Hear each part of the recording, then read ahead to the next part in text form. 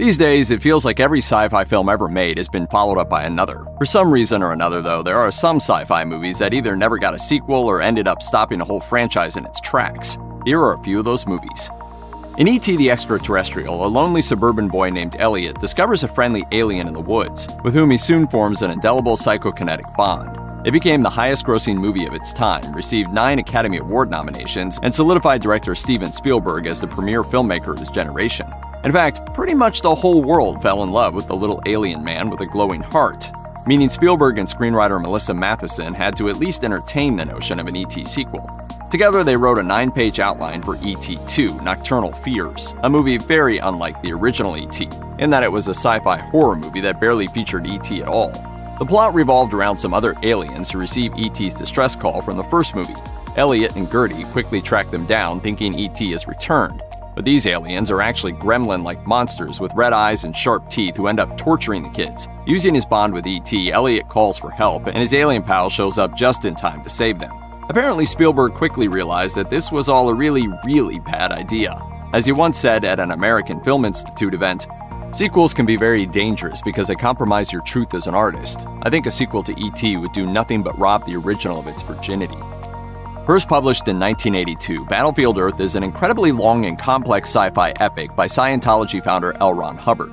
Set in the year 3000, it tells the story of Earth's 1,000 year occupation by monstrous humanoid aliens called Psychlos, who've reduced humanity to a population of around 30,000.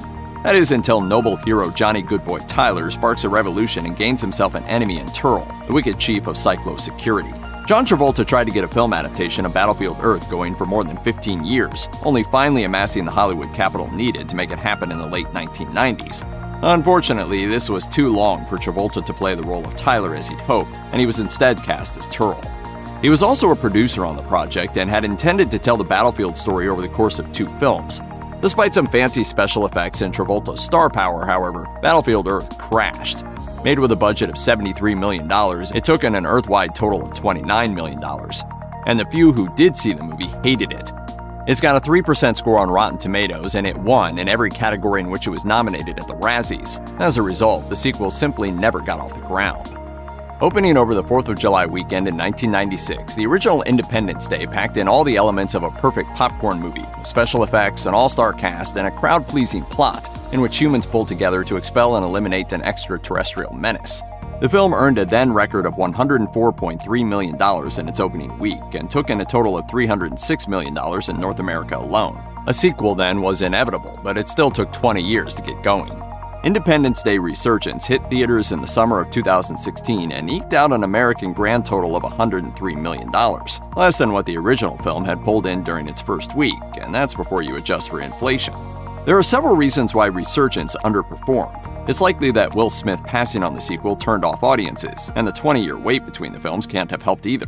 Regardless, before the release of Resurgence, director Roland Emmerich discussed his plans for a third Independence Day movie, one that would take Jeff Goldblum's character into space to lead an attack on hostile aliens. Take the fight to them. When do we leave? We are gonna kick some serious alien ass. But the lackluster numbers for Resurgence seem to have killed any possibility of that happening. Resurgence producer Dean Devlin told LMR Online in 2018 Currently, I personally have no plans on doing another one.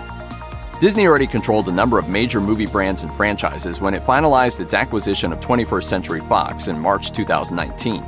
That said, the Fox buyout was still a huge deal in the industry. Included in the $71 billion price tag were the film rights to the X Men, 30% of Hulu, ownership of The Simpsons, and the difficult decision on what to do with nearly 300 films that had been in development at Fox.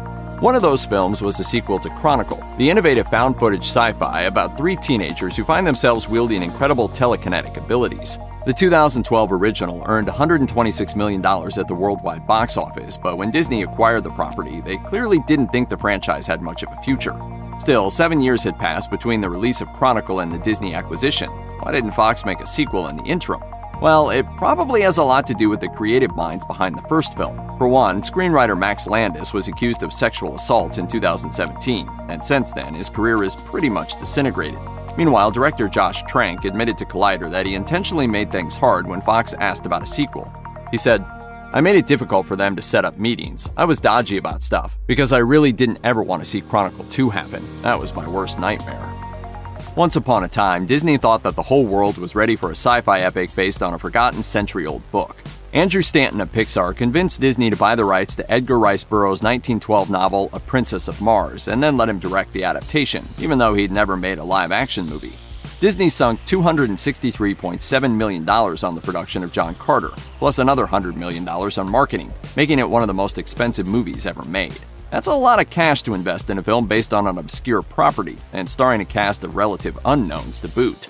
Released in March 2012, critical reviews for John Carter were middling at best, and they did nothing to entice audiences to what was already a hard sell. After a moderately robust $30 million opening weekend, the film sank fast and wound up bringing in just $73 million in the US. It didn't do much better overseas either, with a final global take of $284 million. Disney's massive financial losses made John Carter into one of the biggest bombs of all time, thus putting the brakes on the development of any of the 10 additional books in Burroughs' Barsoom saga. In 2014, the rights to the series reverted back to the author's estate, putting any last chance of a John Carter sequel firmly in the ground. Based on a canceled 1960s TV series that ran for only three years, Star Trek the Motion Picture hit the big screen in 1979, a testament to the property's devoted and enduring fan base. Through the 80s and 90s, Star Trek became one of the most successful and long lasting film franchises of all time. Then, in 1994, the cast of the original six movies passed the torch to a new generation of heroes with the aptly named 1994 film Star Trek Generations. The first three films in the rebooted series performed well at the box office, bringing in an average return of $129 million. Interest dropped off precipitously, however, with the release of Star Trek Nemesis in December 2002. The fourth Next Generation movie took in $67 million at the US box office, a respectable number, but not all that great in comparison to its predecessors. As such, the movie killed Star Trek at the multiplex for the time being, with part of the blame falling to competition from several other franchises. At the time of its release, Nemesis faced competition from The Lord of the Rings, The Two Towers, Harry Potter and the Chamber of Secrets, and The Santa Claus 2. As a result, the Star Trek franchise faded into the ether and didn't make a resurgence until J.J. Abrams rebooted the series seven years later. Hellboy was a major hit character for indie comic publisher Dark Horse. The character is a red skinned, superpowered half demon who works for the Bureau for Paranormal Research and Defense, and in doing so protects Earth from creatures and forces of pure evil.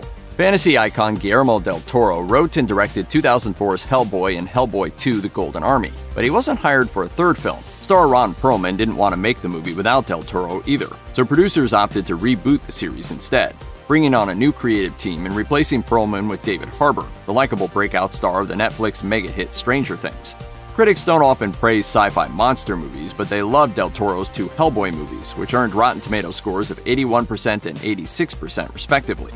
Audiences also enjoyed the first Hellboys to the tune of a combined $260.2 million at the box office.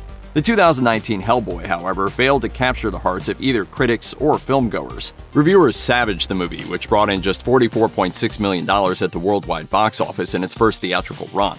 This attempt at a fresh, rebooted franchise simply crashed and burned, sending any possibility of a sequel straight to hell. It really does feel like the Terminator franchise is impossible to kill. I'll be back. It all started with 1984's sci fi noir flick The Terminator, starring Arnold Schwarzenegger as a cyborg sent back in time to kill Sarah Connor and her unborn son John, who will one day lead the human resistance against the machines. Terminator 2 Judgment Day found Schwarzenegger playing a different time hopping Terminator entrusted with protecting teenage John Connor from another deadlier Terminator. And so it went, with more Terminator installments digging up more and more holes in the mind boggling timeline all leading up to 2019's Terminator Dark Fate. Despite the brand recognition, and despite being the first Terminator in decades to feature both Schwarzenegger and Hamilton, Dark Fate was a flop. It was the first in the series since the 1984 original not to clear $350 million at the box office, grossing just $261 million worldwide. A number even more disappointing considering it cost $185 million to produce. Although you should never say never with a franchise this big, those measly returns could mean that the Terminator franchise has finally met its fate. The Hollywood icon Mel Brooks's best films tended to parody entire genres of movies. Westerns with Blazing Saddles, for example, or classic horror with Young Frankenstein. Naturally, then, in the 1980s, he turned his hand to Star Wars. Spaceballs lovingly sent up the George Lucas saga, but also pointed out just how silly it all was. With Rick Moranis as the unsure Darth Vader esque Dark Helmet, Bill Pullman as the on the nose Han Solo parody Lone Star, and John Candy as the Chewbacca like Barf. Brooks himself even shows up for an extended cameo as Yogurt, an old and wise Yoda ripoff who's literally just there to sell merch. Spaceballs the coloring book. Spaceballs the lunchbox. Spaceballs the breakfast cereal. Spaceballs the flamethrower. Naturally, considering the franchise it's spoofing, Spaceballs also promises a sequel in Spaceballs 2 The Search for More Money. Sadly, this will probably never happen, since many members of the original cast have passed away since the first film's 1987 release. Most importantly of all, however, Moranis has almost entirely retired from acting, and as the 94 year old Brooks once told Parade magazine, without Rick, I wouldn't do it. And though Moranis has recently returned to the screen for a few select projects, that's most likely the end of that. Check out one of our newest videos right here. Plus, even more Looper videos about your favorite movies are coming soon. Subscribe to our YouTube channel and hit the bell so you don't miss a single one.